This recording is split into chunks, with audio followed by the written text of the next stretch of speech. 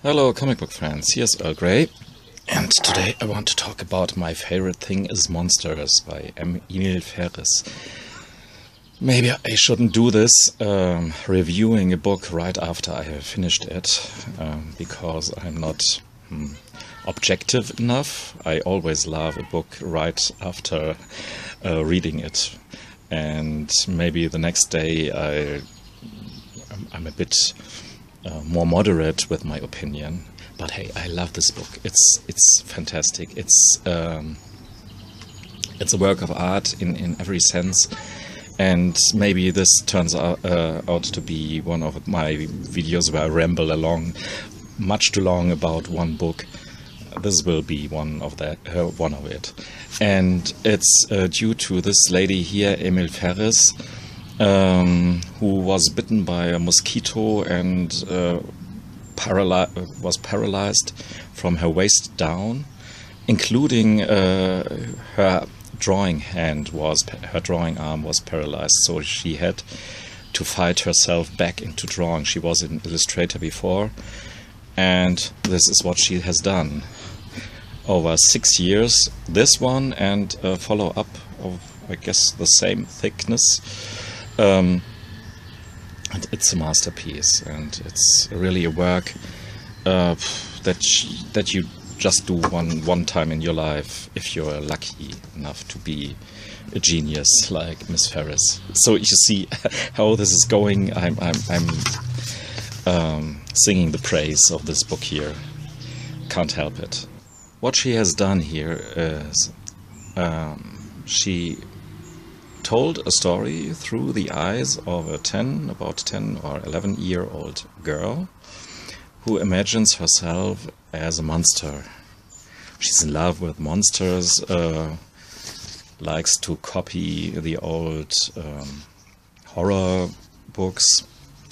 Um, we are in, 60, uh, eight, in 1968, and uh, so that's that era where Kennedy was shot, and uh, before, and Dr. Martin Luther King.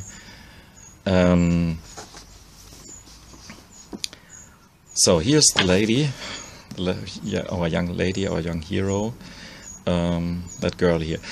Uh, we all always, but except for one very uh, emotional exception, uh, we see she just depicts her in this way as as this monster. She hasn't accepted her real look, so to speak, and um, yeah.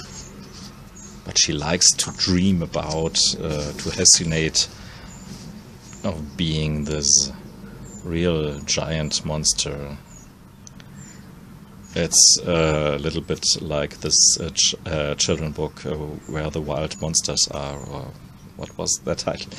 Um, yeah, she is obviously very familiar with the old horror film tropes.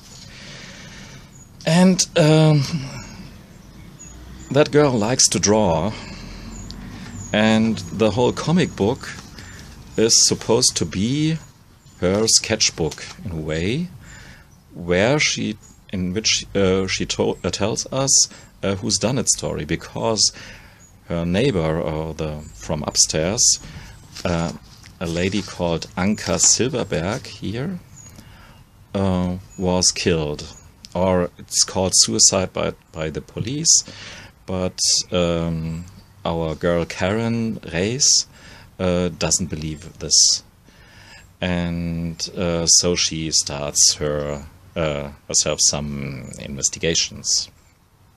She imagines herself to be uh, a crime detective. Silverberg, this uh, name sounds Jewish, and she is Jew, and uh, she had a, as you can imagine, very hard childhood, and uh, later on her life wasn't very easy, and the Nazis put her in a concentration camp where she just uh, could. Um, yeah, I don't want to spoil anything, but you can think of it. She had.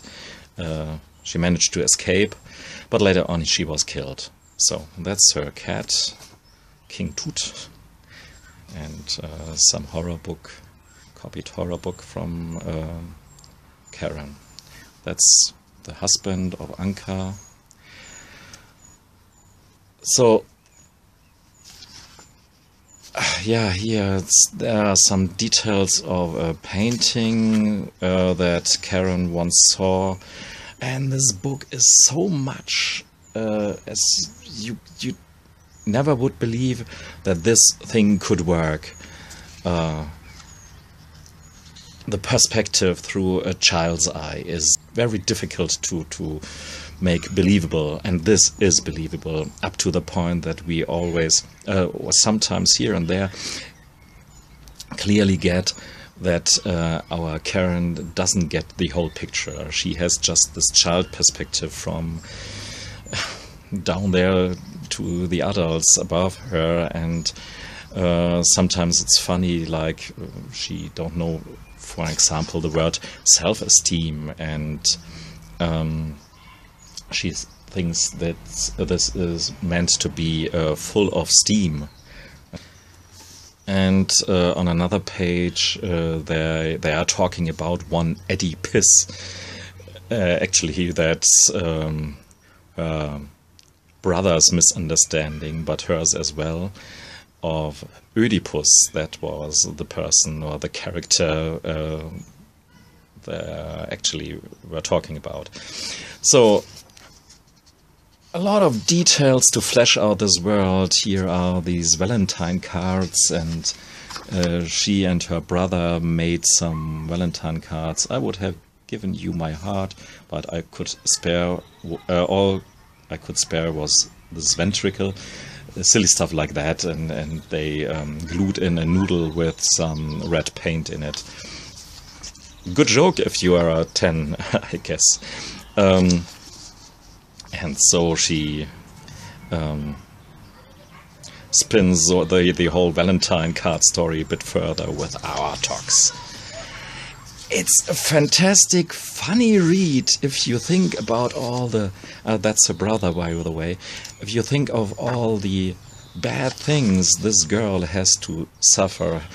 Her ma, I guess that's no main spoiler because it just happens gets cancer and um, she's alone with her brother uh, more most of the time and um, is bullied by the other kids in school and there's always uh, she has no friends and and all that stuff but it's elevated by her art she can draw and that saves her in a way. And her brother Deeze, um, a tattooed womanizer, um, who's very tender with her sis with his sister. Uh, he has taken over sort of the father role because um, that's the mother. Uh, the father uh, of Mexican origin has fled the family, so it's his turn to take care of Karen and she she can draw she can draw herself out of her her life but that would even sound if she has to escape uh, some uh, this place which isn't true she is really into this world she loves this world she loves her mother she loves her brother um, she loves the mysteries she loves grisly stuff she uh, horror stuff and um, it's a very tender, positive story. Uh, even though there's so many bad things happen. That's uh, her brother in his all in all this tattooed glory.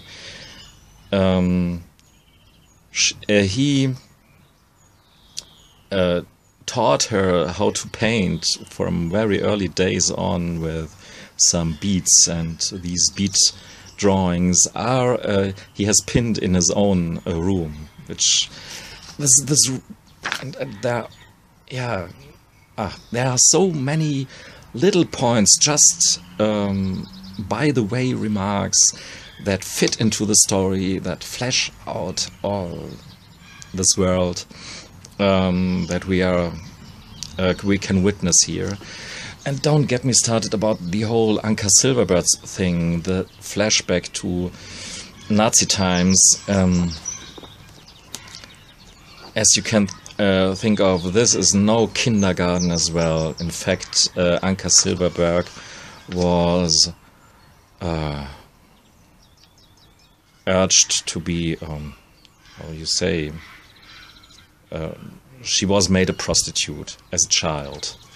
And of all the grisly things that can happen in your life, I think this is one of the worst ones. And it all happens in this book here. And she she's really a victim, Anka Silverberg. There's no way around it. Uh, and no way, uh, no wonder that she turned out to be some kind of crazy woman after that. But still, we have this beautiful art and all this tender remarks, this funny remarks um, of that ten-year-old girl, and we, and and her language is right. It's not an adult talking like.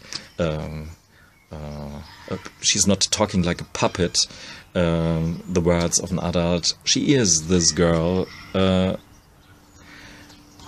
here she almost got raped, and I don't want to spoil anything. So there, I don't want to show you the last part of it. Um, maybe one thing I should show you are some of the paintings um, Karen refers to because they play a big role in the whole story, even though I can't find anything. No, but yeah, here, for an example. Uh, Karen has.